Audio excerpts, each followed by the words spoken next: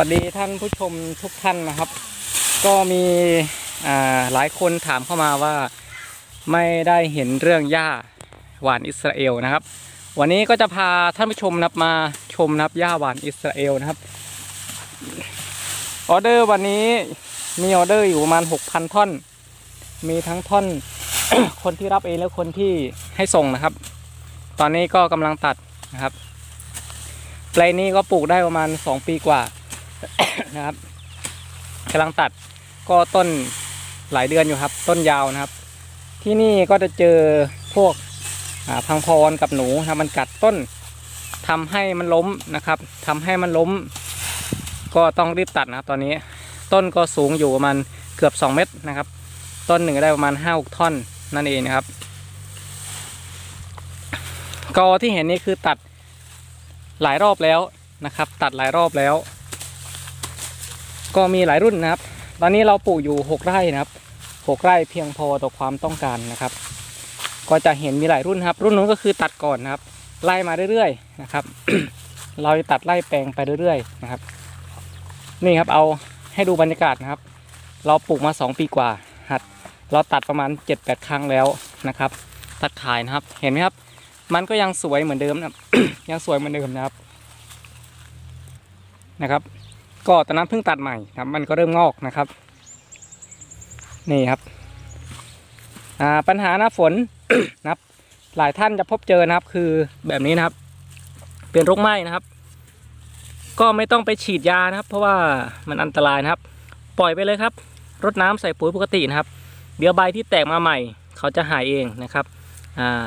แต่เวลาบางคนเจอเจอแบบไหม้จริงๆนะครับ แต่ไม่เป็นไรนะครับ ปล่อยไปเลยนะครับ นี่ครับเอาให้ดูบรรยากาศนะครับ ก็หกพันท่อนนะครับ ก็ไม่ใช่ง่ายๆนะครับ ไม่ใช่ง่ายๆนะครับเพราะว่าเราต้องใช้คนตัด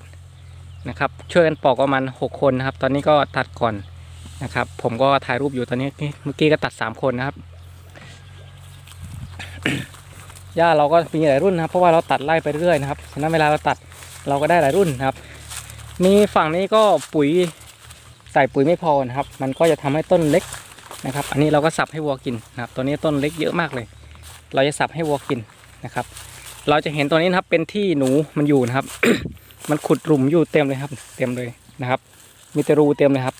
มันก็มากัดต้นเรานะครับทำให้ต้นเราเสียหายนั่นเองนะครับท่านผู้ชมนะครับ เราก็ยังขายนะครับท่อนละ 1 บาท สั่ง 1,000 ท่อนขึ้นไปส่งฟรีนะครับ ส่งทั่วนะครับผม ส่งทั่วไทยนะครับ 1,000 ท่อนขึ้นไปส่งฟรีนะครับ แต่ถ้าไม่ถึงก็จ่ายค่าส่งเองนะครับ 500 ท่อนค่าส่ง 150 บาทนะครับ เห็นไหมครับ สวยงามครับหญ้าหวานอิสราเอลนะครับ6ไร่นะครับ ทั้งหมดครับอ่าเราก็เลี้ยงวัวไว้ ก็คนละ15ตัวนะครับ อนาคตเราก็ไว้เลี้ยงวัวนะครับ แต่ตอนนี้คือเราขายนะเพื่อแบ่งปันอ่าท่อนพันธุ์ให้กับคนที่ต้องการปลูกเพื่อเลี้ยงวัวนะครับ นี่ครับ ปลูกหนึ่งครั้งอยู่ได้หลายปีนะครับเจ็ดปีนะครับหกเจ็ดปีนะครับ มันไม่เหมือนเนเปียร์ เนเปียร์ก็ถ้า สามสี่ปีก็ต้องปลูกใหม่นะเพราะว่ามันขึ้นกอนะครับ มันขึ้นโคนนะครับ แต่ตัวนี้อยู่ได้นานนะครับ แตกกอเยอะนะครับ อันนี้ confirm ตัวนี้ปลูกได้สองปีนะครับ ก็ยังปกติอยู่นะครับ อันนี้เพิ่งตัดนะครับ เพิ่งตัดได้สามวันมาเริ่มที่แตกมานะครับ ให้ดูนะครับ ตัดได้สามวันเห็นไหมครับ ต้นมันหน่อมันแตกมาเห็นไหมครับนี่ครับหลุมนี้กอนี้คือหนึ่งท่อนนะครับ มันจะแตกกอไปเรื่อยๆนะครับ มันจะแตกกอเยอะนะครับหญ้าหวานนะครับ ที่เห็น ตัวนี้แปลงส่วนใหญ่ของผมจะปลูกเพื่อทำท่อนพันธุ์นะครับฉะนั้นผมต้องปล่อยให้มีอายุ 4 เดือนขึ้นไปถึงจะตัดนั้นทำให้ใบมันแห้งมันเยอะนะเพราะว่าเราปลูกเพื่อทำพันธุ์นะครับ แต่ถ้าเราจะปลูกเรื่องวัว เราใช้เวลาแค่อ่า45ถึง60 วันเราตัดเลยนับใบแห้งจะไม่ค่อยมีไม่มีนะครับ จะไม่มีนะครับ อ่าฉะนั้นแล้วแต่จุดประสงค์แต่ละคนนะครับ ระยะปลูกก็ 70ถึง80เซนนะครับในการปลูกนะครับ แนะนำเมื่อท่อนหญ้าได้ไปนะครับ ควรที่จะเอาไปบ่มก่อนก็คือเอาไปรดน้ำไว้ในร่ม ใส่กระสอบรดน้ำก็ได้นะครับ ไม่ใช่แช่นะรดน้ำนะครับสามสี่วันให้หน่อมันแตกนะครับ ให้มันแตกออกมานิดหนึ่งหนึ่งเซนก็พอนะครับ แล้วก็ค่อยปลูกครับปลูกตั้งตรงปักลงไปครึ่งหนึ่งเลยเฉียงเฉียงๆก็ได้นะครับ ง่ายดีนะครับจากนั้นรดน้ำทุกวัน นะครับสองอาทิตย์แรกรดน้ำทุกวัน ถ้าฝนตกก็ไม่ต้องรดนะครับ ให้ชุ่มชื้นสองอาทิตย์แรกผ่านไปมันจะเริ่มตั้งตัวได้นะครับ ใส่ปุ๋ยก็หลังปลูกประมาณ 20 วัน ค่อยใส่ปุ๋ย เริ่มสูตร15 ถ้าใครใช้เคมีนะครับเร่งแตกกอนะครับอ่าก็ อาจจะไม่ต้องใส่นะครับรอบแรกใส่ 15 ก็พอเลยนะครับ พอครบ 2 เดือนเราก็ตัดได้นะครับ เราค่อยใส่นะครับ ดูความสมบูรณ์นะครับ ถ้ากอมันเยอะแล้วก็อาจจะเร่งยูเรียให้ใบเขียวนะครับ แต่ถ้าใครที่ปลูกอินทรีย์ก็ใส่ปุ๋ยอินทรีย์ปุ๋ยคอกปุ๋ยหมักได้หมดนะครับแล้วแต่สะดวกเลยนะครับแต่ไม่แนะนำให้ใส่ปุ๋ยคอกระหว่างที่เราเตรียมดินนะเพราะว่าในปุ๋ยคอกบางคนมีเม็ดหญ้านะครับทำเวลาปลูกทำให้หญ้ามันเกิดนะครับอ่าส่วนหญ้าอื่นวัชพืชอื่นนะครับนอกจากหญ้าหวานนะครับเราปลูกช่วงแรกจะมีหญ้าอื่นเต็มเลยนะครับเราต้องช่วยถางช่วยหนึ่งรอบนะครับ20กว่าวันถ้ามีหญ้าเราถางช่วยนะครับเพราะว่าหญ้าหวานเรามันยังไม่โตนะครับช่วงแรกจะโตช้านะครับหลังจากที่ มันตั้งตัวได้มันจะโตเร็วนะครับหญ้าอื่นมันก็จะตายนะครับ อย่างที่เห็นนะครับ เห็นไหมช่องว่างนะครับหญ้าอื่นไม่มีเลยนะครับ ผมไม่มีหญ้าอื่นนะเพราะว่าเขาคุมพื้นที่ได้แล้ว เวลาเขาโตไปก็คุมหญ้าอื่นตายนะครับ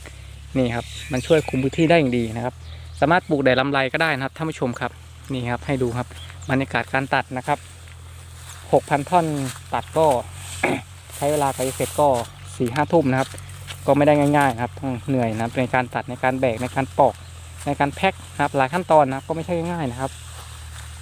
พันท่อนส่งฟรีเราก็หมดค่าส่งไปสามร้อยเราก็จะเหลือมันเจ็ดร้อยนับก็ไม่ได้เยอะนะครับ ก็ไม่ได้เยอะนะครับเนี่ยครับเป็น